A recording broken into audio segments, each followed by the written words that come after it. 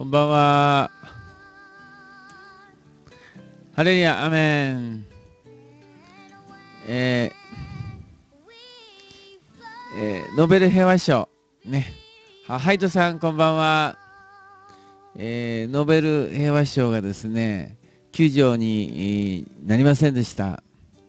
えーマララさんという、ね、パキスタンの、まあ、少女というんでしょうか。えーパキスタンの少女がですね、えーノベル平和賞を受賞しました。ゆりすけさん、こんばんは。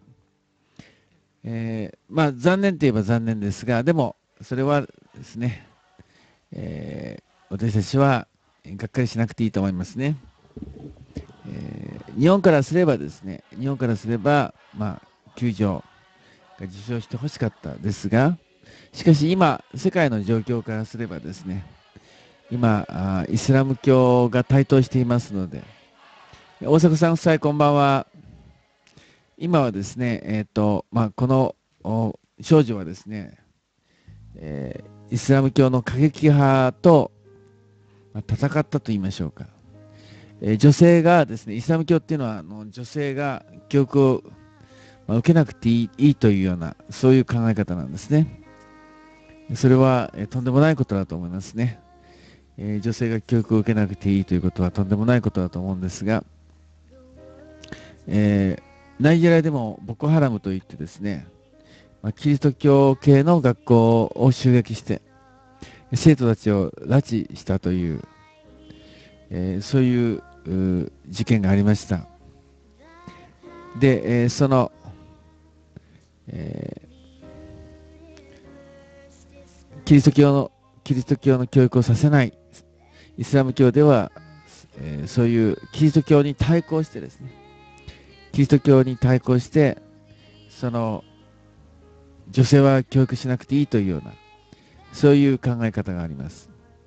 しかしこのマララさんはですね、えーそのいろいろな迫害の中で、えーちょっと貼りましょうかね。ちょっとこうニュースをちょっと貼りましょう。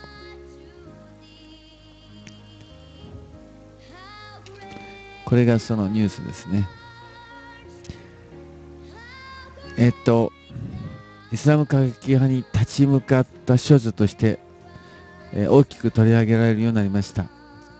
でですね、あの、イスラム過激派に狙われるようになって、一昨年10月、通学バスの下校中、オートバイに乗った2人組の男に襲われ、頭に銃弾を受けましたという、ねええーそういう迫害にもあってるわけですね。その過激派っていうのがパキスタンタリバン運動という、そういう、そういうテロリストなんですね。そういう意味ではですね、今本当にこのイスラム国とい言って、まあ、このサタンの働きが、イスラム教を通して、行われていて、その残虐な残酷なテロが、全国のテロが世界中に蔓延していますので、そういう意味では今、そういう神様はですね、あの、イスラム国に、えーあの、代表されるテロリストですね、イスラム過激派のテロリストに対して、えーその、まあ、この女性に、マロラさんに平和賞を与えたというのは、タイミング的にはいいかもしれませんね。タイミングタイミング的にはイスラム教に対する、イスラム教の過激派に対する、えー対応としてはいいかもしれませんね。えー憲法9条は多分また来年ですね。来年、あの、えーノミネートされると思います。また来年ノミネートされるので、まあ、えーまあ、今回、今回受賞なんなくても、ノミネートされただけでも、えーノミネートされただけでも、えー良かったんじゃないかなと思います。はい。それではですね、えー今日も、えー角笛を吹きたいと思いますね、角笛。えーまだまだ練習不足ですけど、えー、日本のリバイバルのために、イエス様の再臨のために、ね、えー、皆さん、えー、角笛を聞いてください。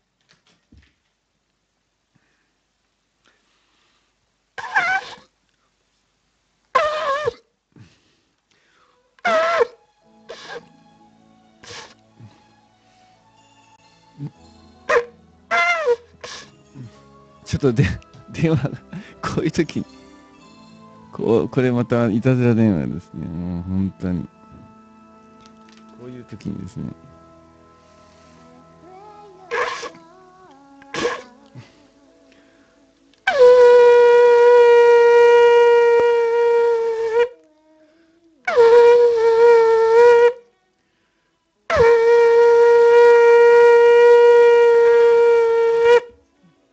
はいえまあ。最後ちょっと良かったですね。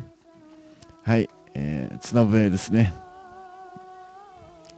えー、はい。うまくなってきた。だんだんうまくなってきたかもしれませんね。はい。え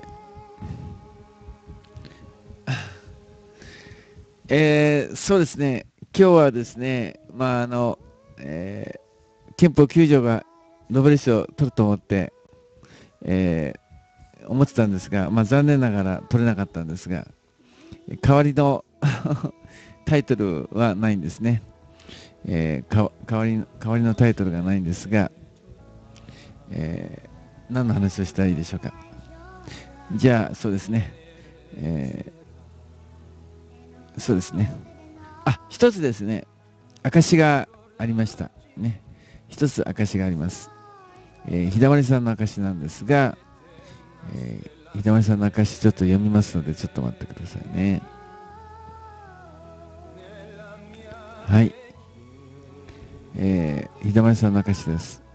うちの猫、3月に1匹が他界しましたが、今別の猫も重病で死にかけています。えー、ぐったりしてて、水も飲まなかったけれど、なぜながらイエス様にお祈りを始めたら、お水を自力で飲んでくれました。アメン。ノンクリスチャンだったら偶然だよって笑うでしょうけど、偶然ではないです。イエス様によって、えー、苦痛が取り除かれてます。でももしも回復せずに他界しても、それも御心なんだと信じてます。いつか、いつかは天国で会えるのですから、ずっと食事も取れなかったのに、今は少し食べてます。こういう、あれですね。あ、えまだありました。イエス様はプチを癒してください。プチがお水を飲みますようにとお祈りした瞬間に水を飲みました。はい、そういうね、素晴らしい証があります。皆さんのペットがですね、病気の時は、イエス様の名前によって祈ってください。えー、イエス様の名前によって祈るのです。えー、それは、えイエス・キリストの名によって、イエス・キリストの名によって、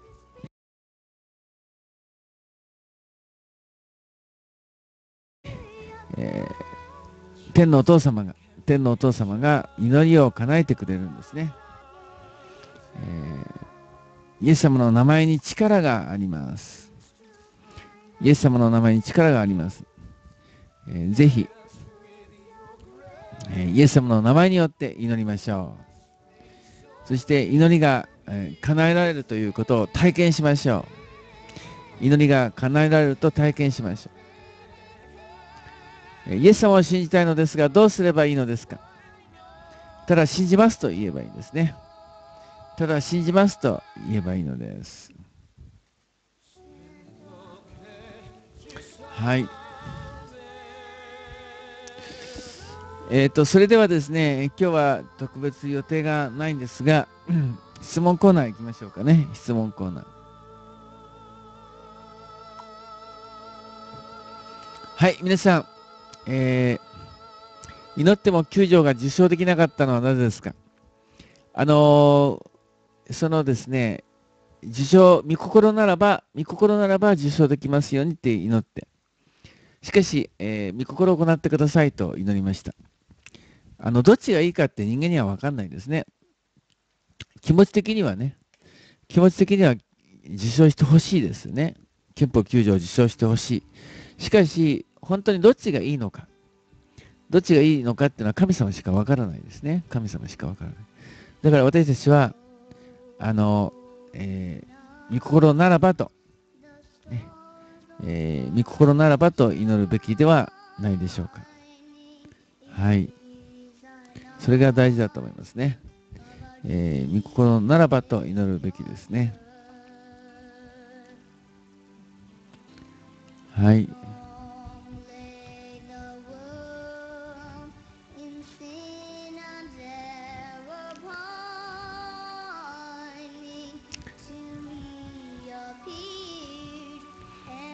はい、え、質問、えー、答えますね。まあ、答えられるのを答えます。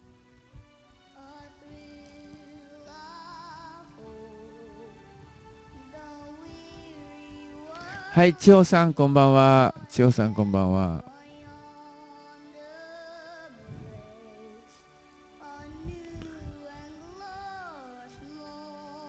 あ、それからもう一つアナウンスなんですけど、今日はあの、えー、ハガルさんのツイキャスは、えっ、ー、と、中止ですね。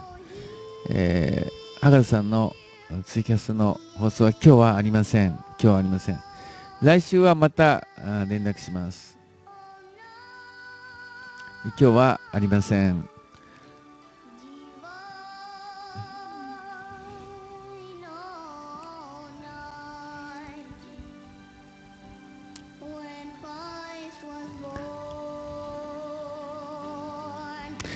歯医者から牧師になるとき、どんな覚悟がありましたか？えほとんど覚悟はありません。ね。えー、牧師になりたいと思って、あのまあ、その前からもう牧師だったんですね。10年ぐらい。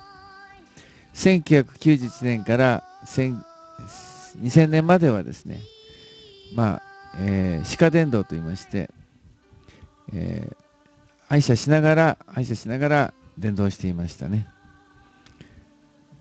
はい。ですから覚悟はいらないんですね。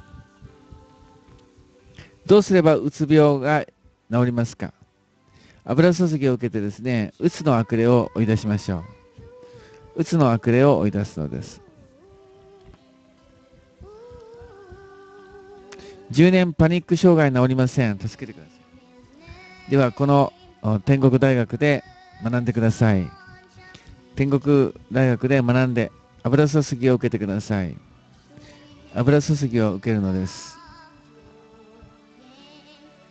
うつの悪霊ってあるの？ありますよ。えー、タバコの悪霊、えー、お酒の悪霊、パチンコの悪霊、うつの悪霊、がんの悪霊、えー、悪米の悪霊、ニコ生の悪霊、えー、嵐の悪霊、まあ、もうたくさん悪霊いるんです、悪霊ね。えー、悪霊がいると、ね、悪いことします、悪いことね。ですから皆さん、悪霊をい出しましょう。えー、油水ぎを受けると、油水ぎを受けると悪霊は出てきますね。はい。角笛、もう角笛吹き吹きましたよ、もう。もう角笛を吹きました。なぜプロテスタントのカリスマを選んだのですか？最初は福音派だったんですね。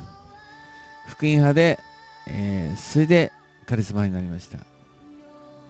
将棋に、えー、興じるのは罪ですかまあ、程度の問題ですね、程度。えー、将棋してはいけない。将棋をすることは罪だとは言いません。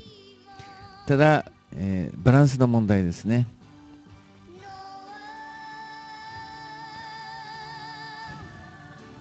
カリスマがカルトって本当ですか？いえいえいえ。世界の主流ですね。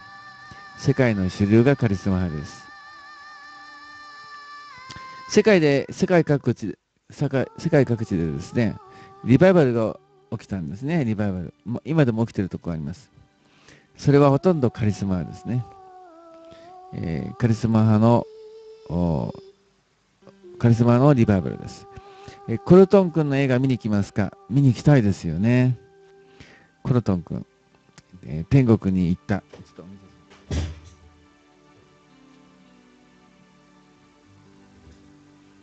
えー、天国、天国にいた男の子の話で。このコルトン君の映画化、映画が、映画ができましたね。皆さんぜひ、えー、このコルトン君の映画を見てくださいね。本当に天国があるってことがわかります。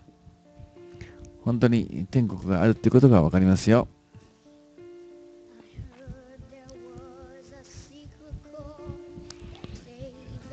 イスラム教になった娘、え、イスラム教、娘じゃなくてですね、めいですね。えー、名語がイスラム教になっちゃったんですね。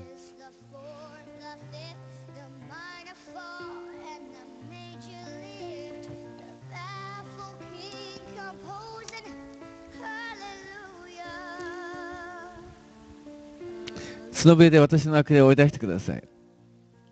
また最後に、最後に吹くかもしれません。イエス様はいつ現世に降臨されるんですか？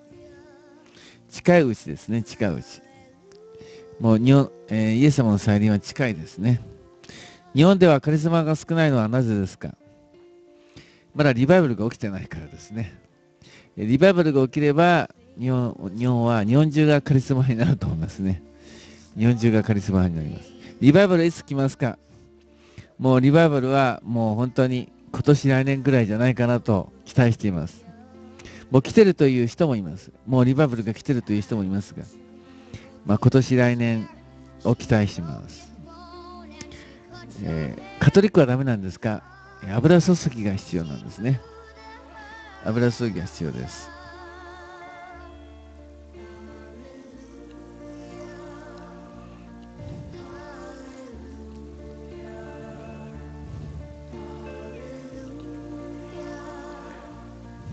憲法9条ノミネートはリバイバルの前兆ですか？私はそう考えますね、えー、リバイバルの前兆じゃないかなと思います。ノミネートだけでも素晴らしいと思いますね。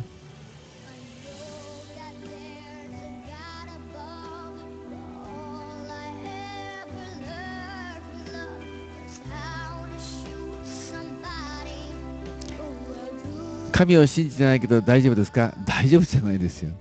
大丈夫じゃないです。イエス様を信じなければ大丈夫じゃありません。地獄行っちゃいます。地獄にね。人はみんなキリスト教を信じなければならないのですか？そう、その通りです。キリスト教を信じるんじゃないですね。イエス・キリストを信じるんですね。キリスト教を信じるんじゃないですよ。イエス・キリストを信じるんです。えー、角笛聞きに来ました。もう終わりました。また後でやるかもしれません。多宗教ディスをしているあなたの頭大丈夫ですか、えー、イエス様自身が、ねえー、イエス様しか救いがないとおっしゃっていますね。イエス様しか救いがないと聖書では言っています。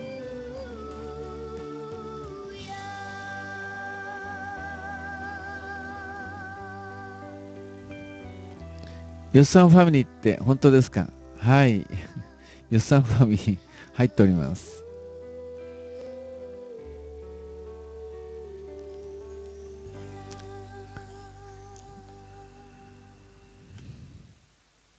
この BGM の曲名、これはね、ハレルヤじゃないかな。ハレルヤ？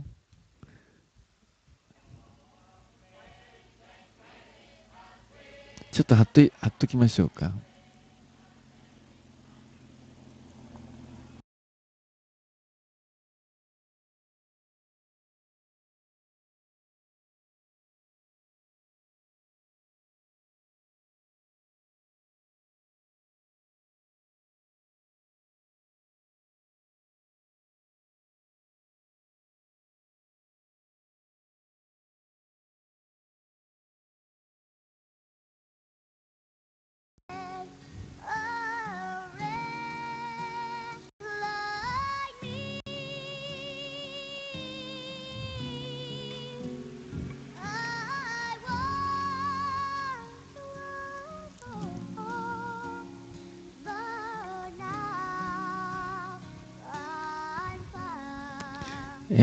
トリックは救われますか、えー、福音派も社会派もですね、カトリックも油すぎを、油すぎが必要なんです。油すぎですね。えー、カリスマではその油すぎを強調します。油すぎを強調します。毎日放送してるんですか ?1 日2回も放送しています。えー、1日2回放送しています。ユダヤ教で救われますか？ユダヤ教では救われません。イスラム教でも救われません。仏教でも救われません。ヒンズー教でも救われません。イエス・キリスト以外に救いがありません。イエス・キリスト以外に救いはありません。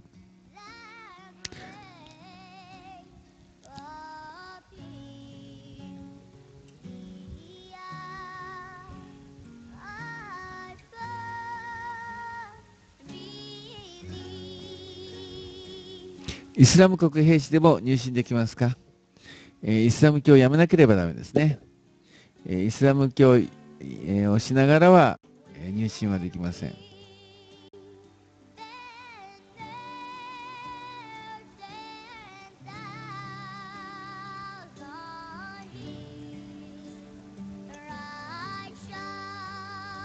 同じ神を信じているのにユダヤ教とイスラム教が救われないのはどうしてか。えー、その罪の問題ですね。イエス・キリストを信じなければ罪が許されないんですね。十字架によって罪が許されて初めて神と和解ができます。ですから、えー、その罪の問題を理解しないと、なぜ、えー、そのイエス・キリストを信じなきゃいけないかがわかります。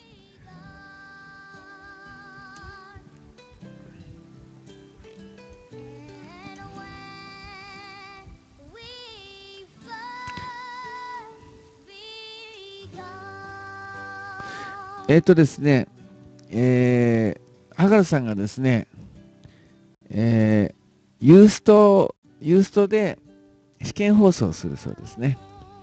えー、ユーストで試験放送。はい、するそうです。あの、ハガルさん、あの、URL を貼ってくださるといいですね。えー、URL を貼ってくださると3尾枠だそうですね。3尾枠ですね。はい。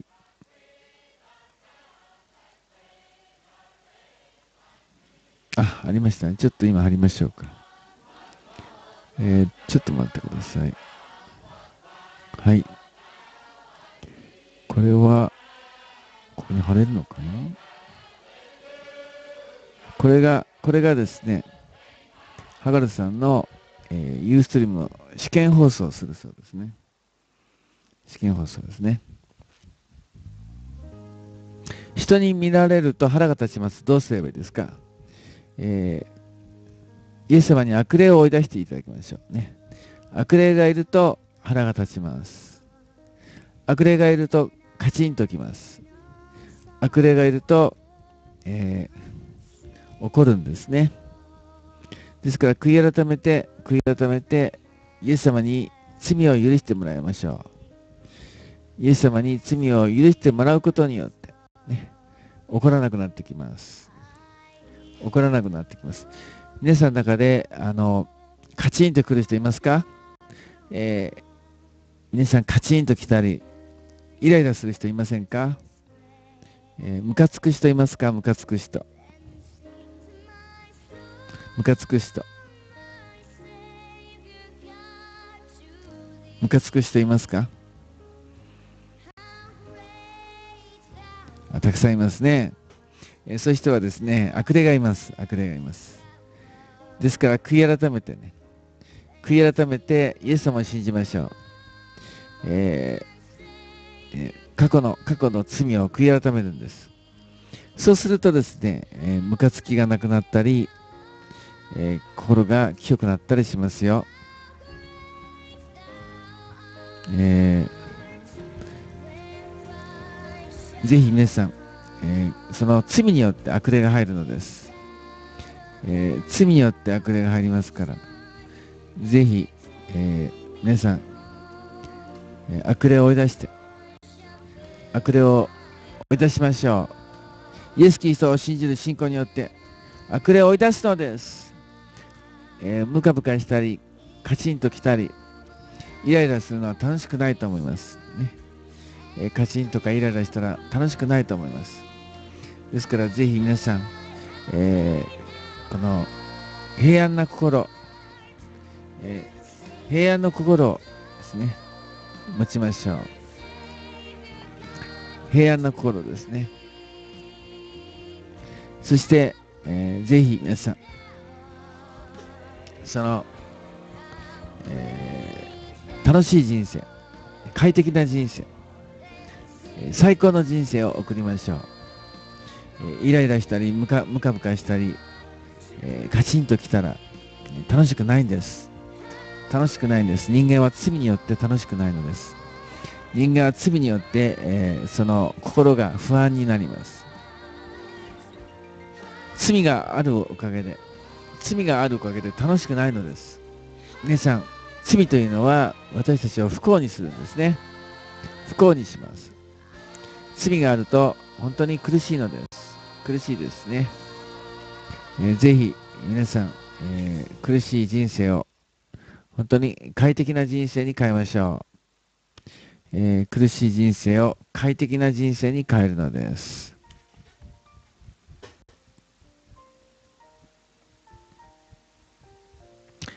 苦しい人生を快適な人生に変えましょう。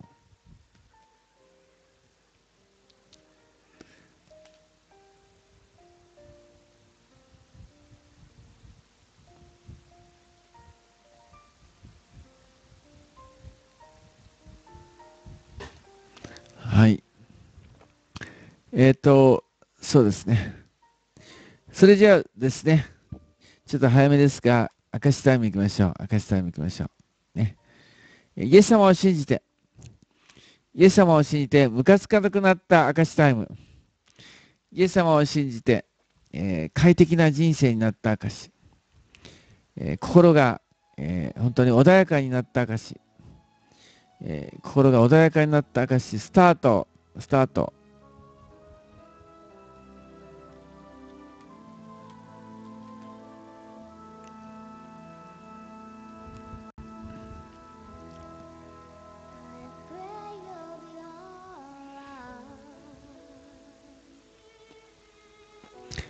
キューチャン牧師のブログを捨てました。角火を聞いて生きていこうと思いました。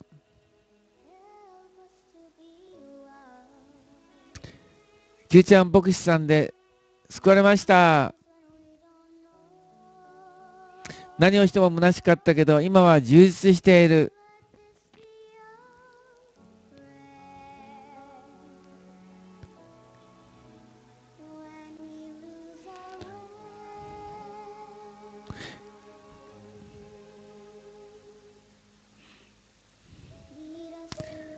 罪を罪を許されることで許せるようになった。この放送を見て苦しみから、えー、救われました。アメン。苦しみから救われました。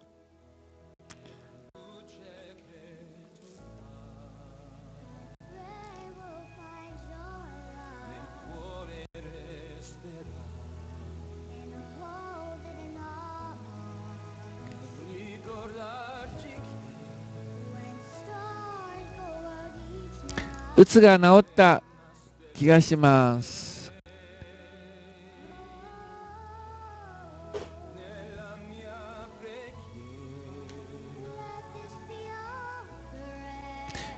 この放送を見て思いっきり笑うようになりました。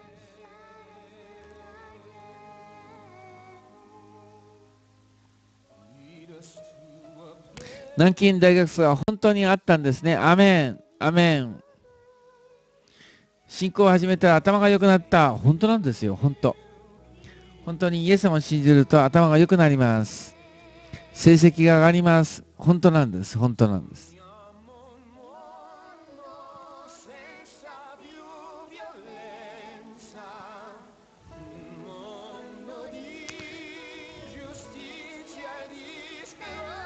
日本軍の罪が分かるようになりました。楽しい生活を送れてます。成績が上がりました。綺麗好きになりました。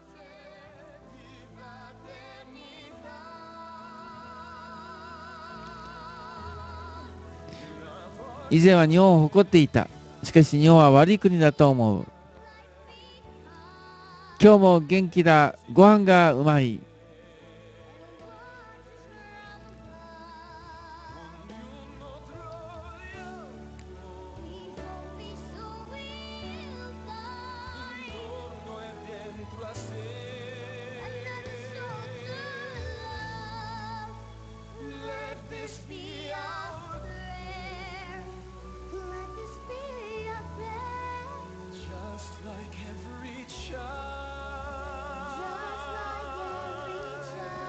早起きになりました。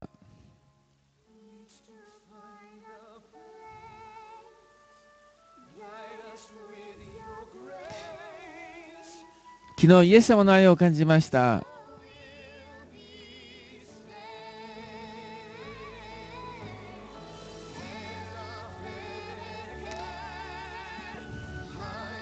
ノーベル文ば文文学賞より聖書だと思う。親に干渉されるとイライラしてましたが、最近は理解することができる。アメン。素晴らしい。それは素晴らしいです。旧牧師は反日牧師だと思っていたけど、愛国牧師だと分かった。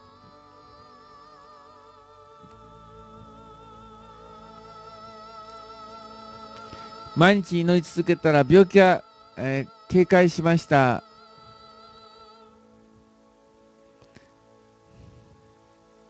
この放送は韓日の架け橋だと思った。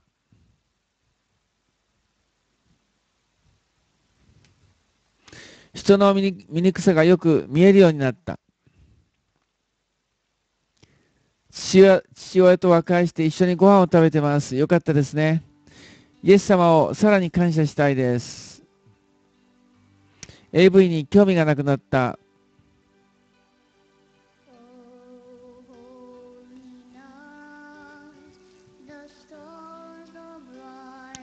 Q ちゃんのおかげで本当の愛国とは何かが分かった。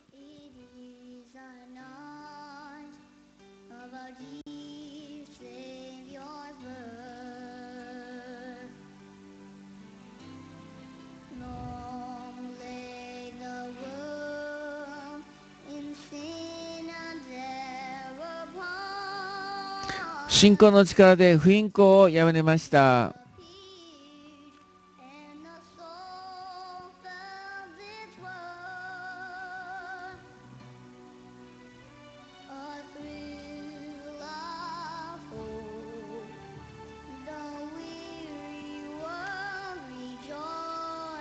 仏教の偶像崇拝はいけないと分かりました。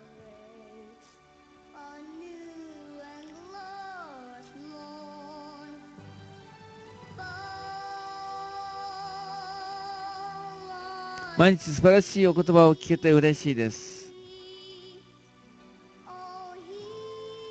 手術させた罪を悔い改めます。アメン。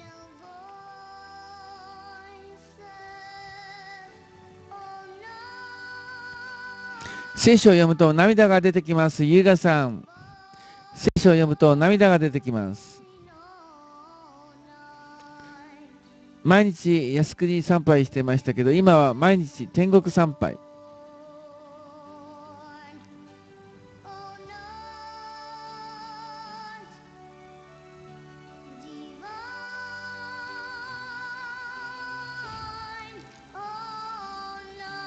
イエス様なしでは生きられないことを実感しました。アメン。アメン。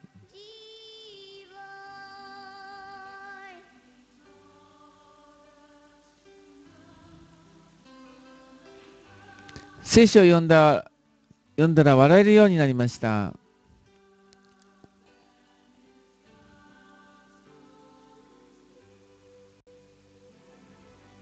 ニコ生はこの放送のためにあるんだと分かった。イエス様を信じて毎日の生活が幸せになりましたイエス様ありがとう本当にありがとう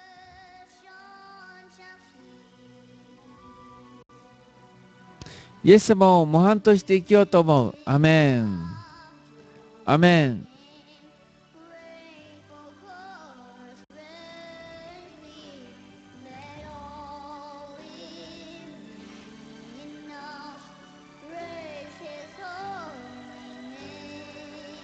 神の御心に逆らえません。神の御心に逆らえません。この世の中が腐っているのが分かりました。この世の世の中が腐っているのが分かりました。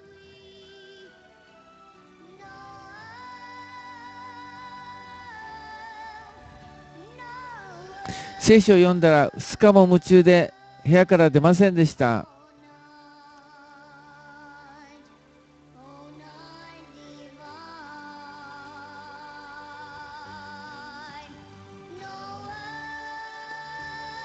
神の力で台風の方向を変えてください。今、スーパー台風が来ようとしてますね。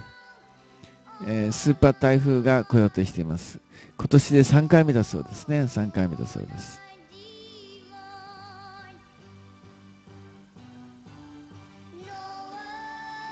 腐った世の中には天変地異が必要だと思う。腐った世の中には天変地異が必要だと思う。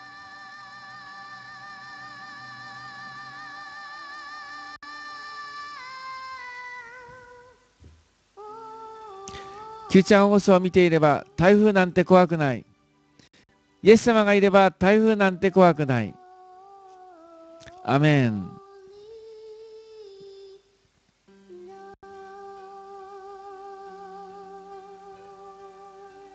イエス様の愛で救われました。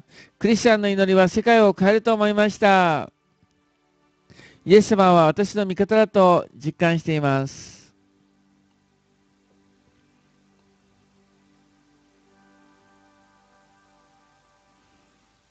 電動放送を見ていたら、イエス様を信じてみようと思った。素晴らしい。世界が変わりつつあるのを感じます。イエス様さえいればもう何も怖くない。イエス様は私たちを裏切りません。靖国は間違っていると分かりました。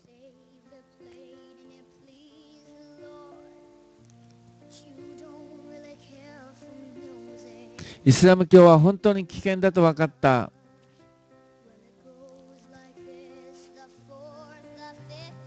キムガヨはもう歌いたくありません。イエス様を信じれば噴火も台風も怖くないと思いました。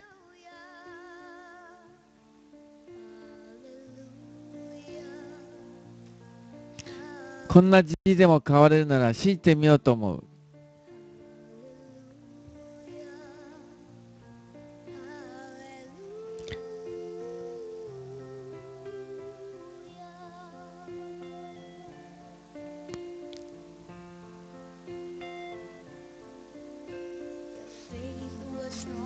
世界が終わるまでイエス様と離れることはない。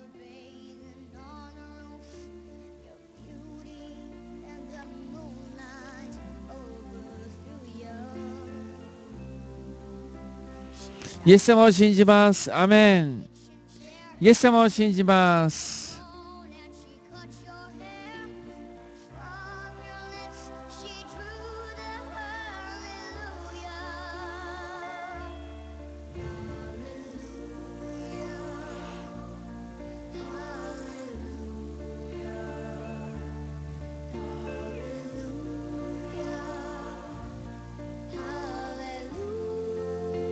イエス様の深い愛に心から感謝しようと思いました。どうか一刻も早い、早いリバイバルになりますように。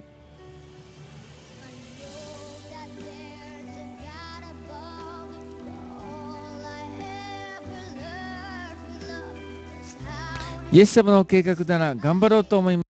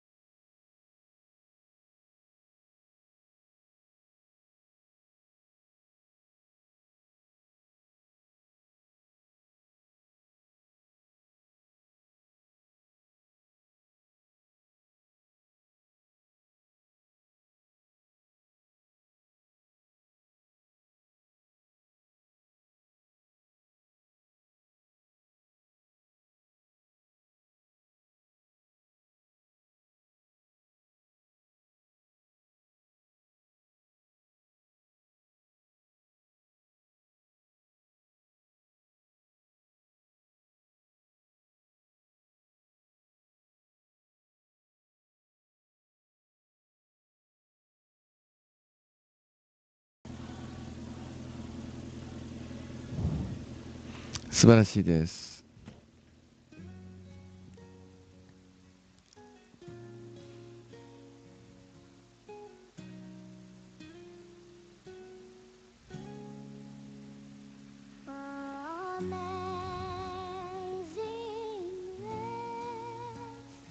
日本が罪を悔い改めれば災害はなくなると思った。ハレリア。アメン。アメン。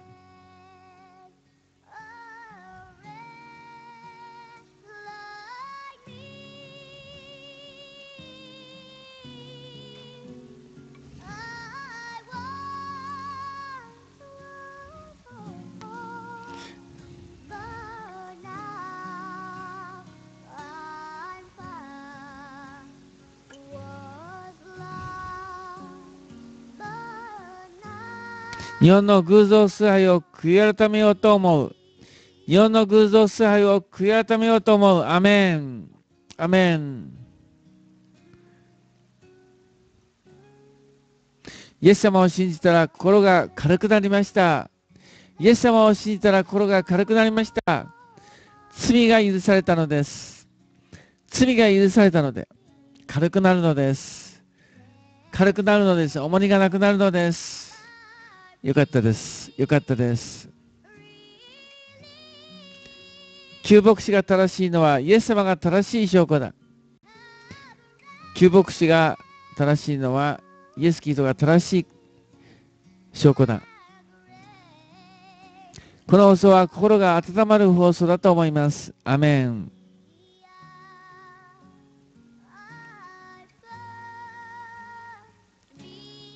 慰安婦に謝罪しようと決心しました。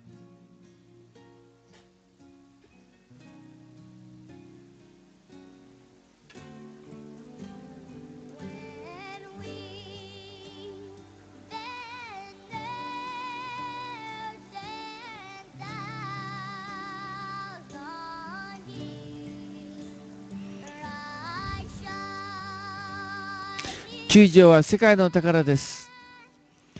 球場は世界の宝です。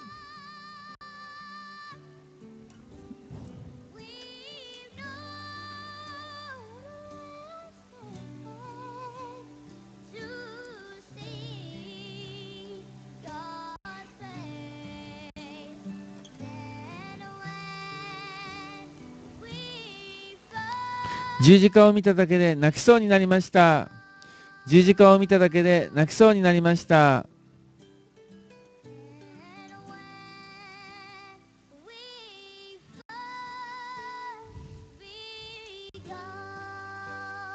毎日感謝の涙で溢れ返ってます。毎日感謝の涙で溢れ返っています。涙で聖書が濡れています。涙で聖書が濡れています。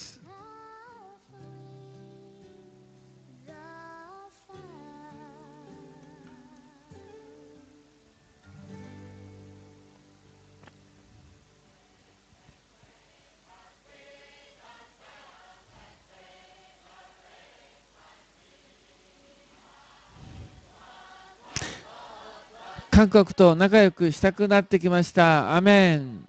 アメン。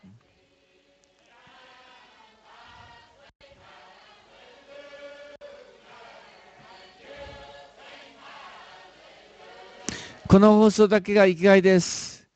えー、この放送だけが生きがいです。天皇崇拝を悔い改めようと思います。天皇崇拝を悔い改めようと思います。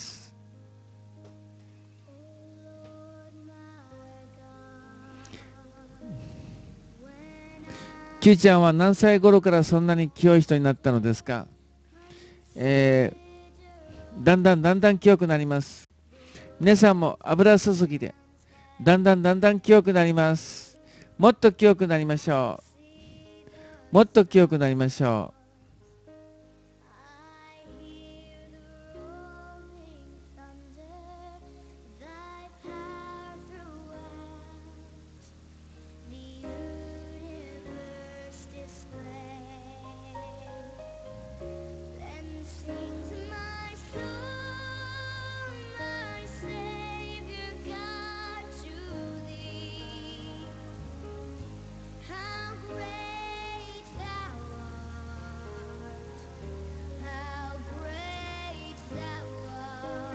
暴力的なアニメを見るのをやめました。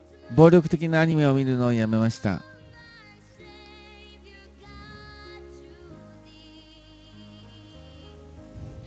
イエス様の再臨を信じています。イエス様の再臨を信じています。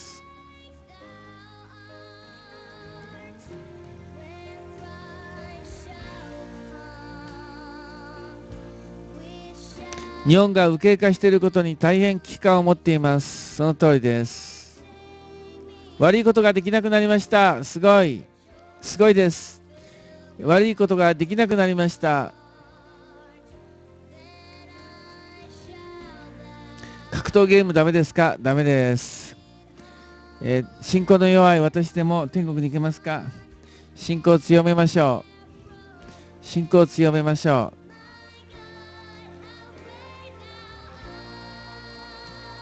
神を信じて嘘をやめようと思いました。これ大事なことなんです。えー嘘をやめようと思いました。大事です。とても大事です。クリスチャンになるということは嘘をつかなくなるということですね。えークリスチャンになるということは嘘をつかなくなります。生きる喜びを感じました。進行ゲーム作っていいですか？作ってください。作ってください。やさ優しい嘘もダメですか？ダメです。優しい嘘もダメです。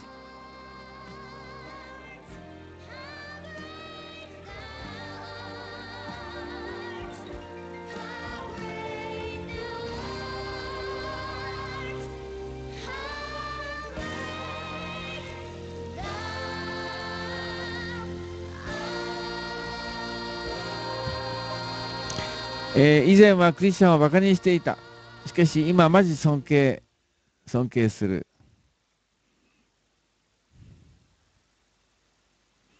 この放送を毎朝見るために仕事を辞めました。アメン。アメン。キューチャーの放送でカリスマを知って以来、神様に、神様は素晴らしいと思うかな。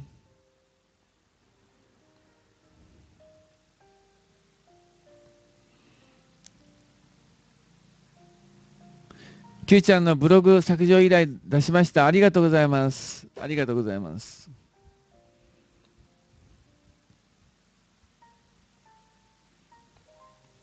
カリスマ派に首ったけになった。カリスマ派に首ったけになった。アメン。人を救うための嘘はダメですか？うん、まあちょっとケースをき、ケースによる、よると思いますね。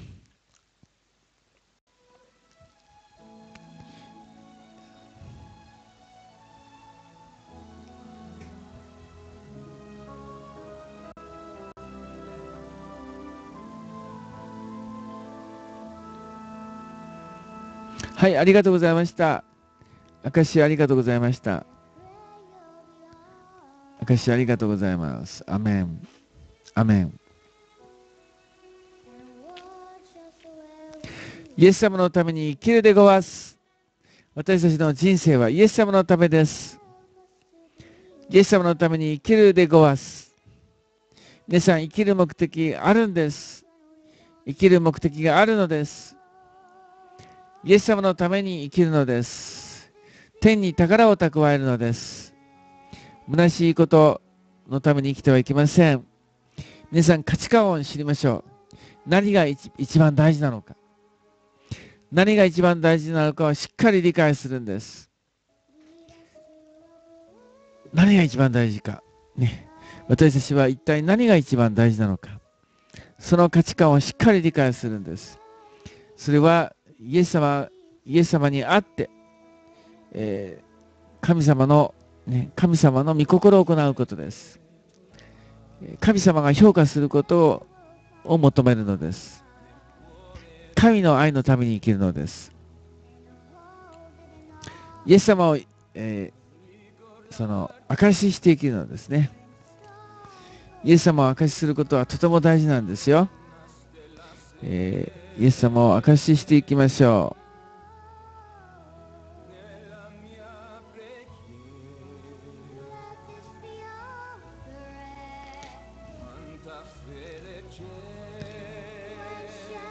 う。イエス様を証しして生きるのです。はい。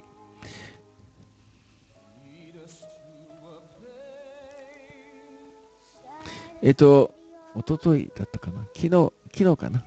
昨日、あの、えー、おととい、おとといだったかな昨日ですね、ごめんなさい。ちょっと忘れちゃった。昨日、えー、バイクが、バイクがですね、パンクしました。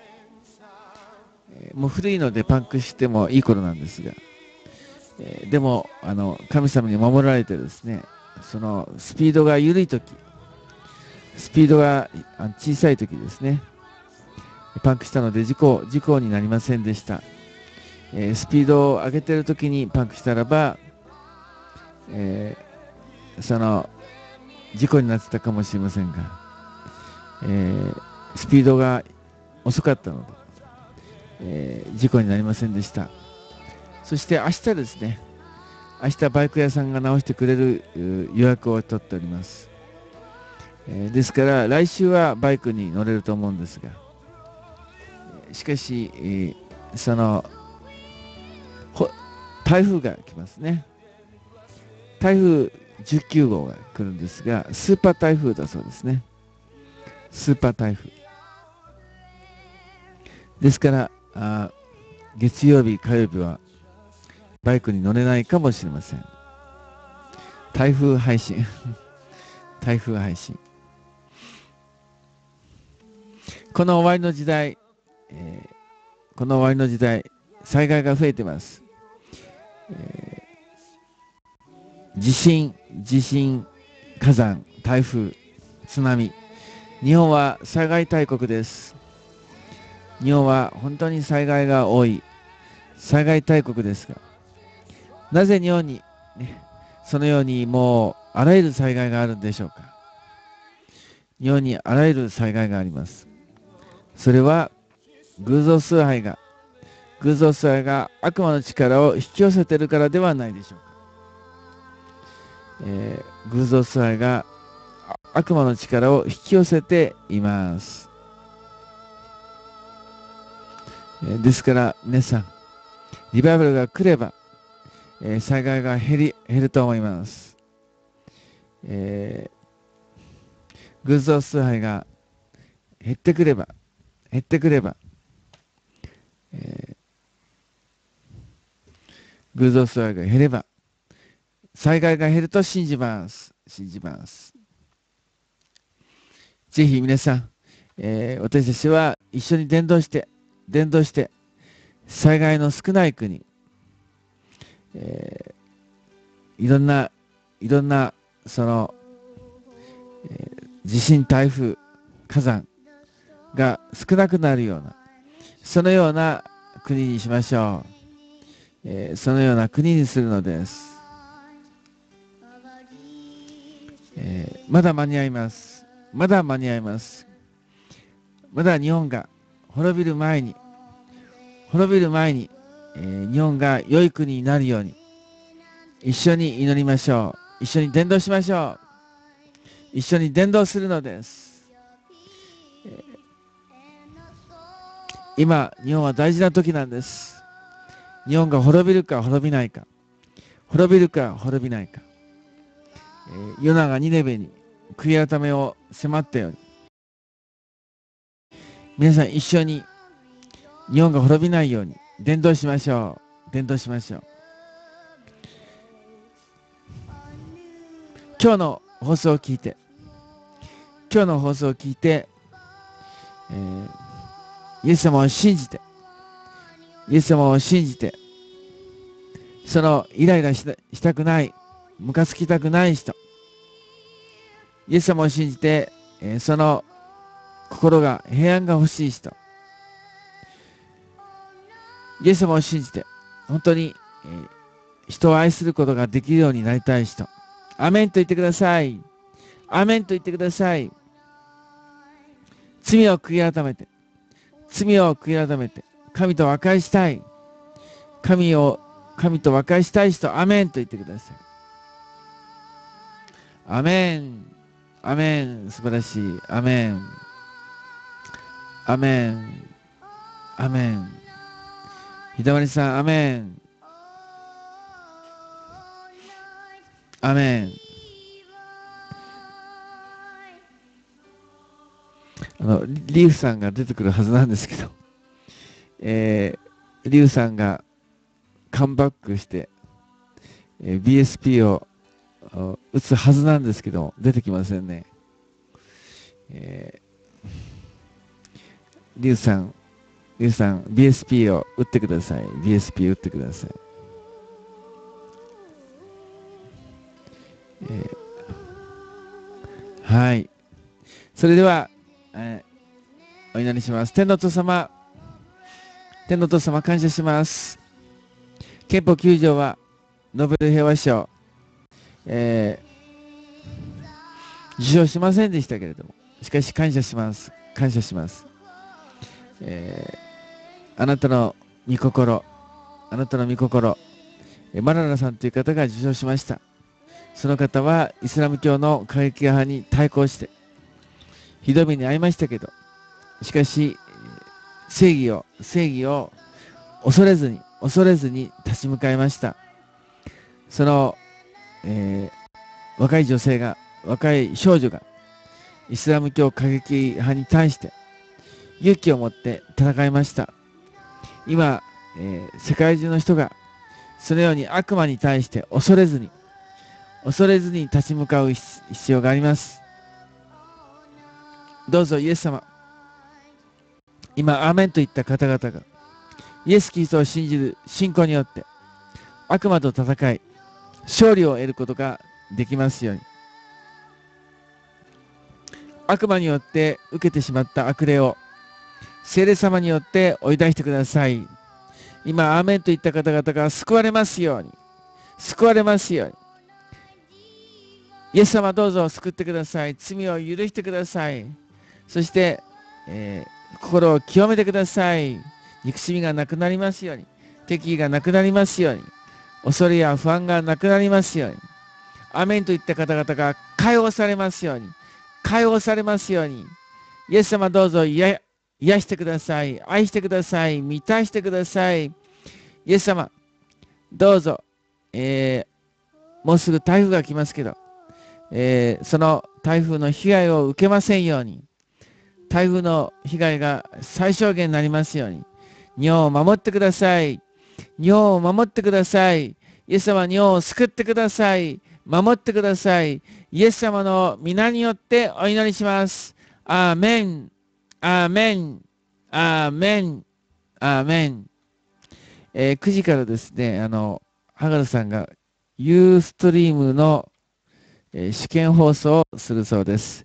明日は私の朝7時ですね。はい、それじゃあ、おやすみなさい。ありがとうございました。ありがとうございました。あ、その笛吹くの忘れましたね。もうちょっと時間ない。